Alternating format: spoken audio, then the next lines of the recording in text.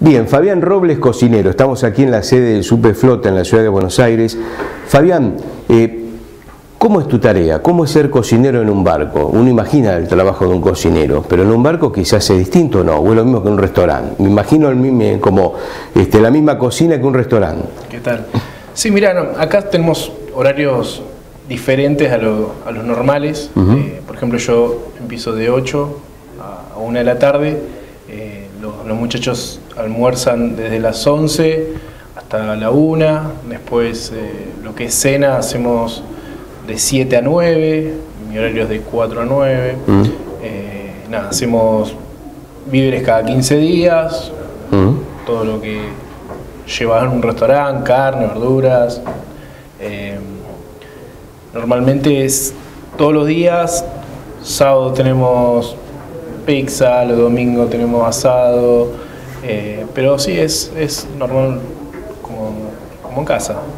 Ustedes, por ejemplo, cuando tienen una, una tarea, un viaje, una misión, parten desde un puerto, en el caso de, de la comida, eh, toda la comida se carga en ese puerto y ya con eso están abastecidos durante todo el trayecto, o en otros puertos donde van parando se va incorporando, se va reemplazando, ¿cómo se trabaja en ese sentido? Mayormente cuando tenemos un viaje largo, por ejemplo, salimos de La Plata Ushuaia, sabemos que es un viaje largo, son mínimos 12 días entre ida y vuelta. eh, ya nos aseguramos de abastecernos todo, abastecer las cámaras, eh, todo lo que es agua, eh, porque normalmente hacemos, tenemos nuestro puerto madre y ahí es donde hacemos los víveres. Así que cuando tenemos un viaje muy largo, ya sí o sí hacemos todo lo que es eh, víveres, carne, verduras, agua, para, para, bueno, para poder estar abastecido todos esos días. Bien, Eh, y, y la comida, como decía, se sirve en determinados horarios, se trabaja prácticamente todo el día, más allá de que hay turnos, porque digo, desde temprano el desayuno, después ya están trabajando para el almuerzo, merienda, cena y demás. Hay como comidas destacadas, comen más o menos siempre lo mismo, en general, ¿qué es lo que se sirve? Mira, eso también eh, depende mucho del cocinero. Yo, por ejemplo, soy de variar, trato de sacar eh, a lo primero verduras, que es lo primero que, que se va descomponiendo. ¿no? Claro. Eh, después los días, los fines de semana tenemos, por ejemplo, yo hago los viernes hamburguesa, los sábados pizza, eh, todo depende de- del día. En la semana, el miércoles, para cortar la semana un poquito, por ahí saco empanadas, así que vamos, vamos variando.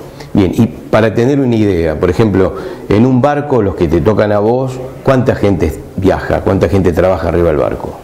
Y mayor- mayormente son entre 23 y 25 personas. Bien, o sea que por ejemplo, no sé si un día hay carne, ¿cuántos kilos para esas 23 personas? Y, por ejemplo, un día tengo que sacar milanesas, más o menos son entre 7 y 8 kilos de milanesas. Los días domingo que hacemos asado son unos entre 2 y 14 kilos de asado.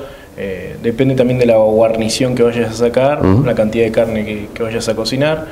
Eh, así que bueno, va variando todos los días la cantidad de carne. Bueno, ¿qué es lo que más te gusta cocinar?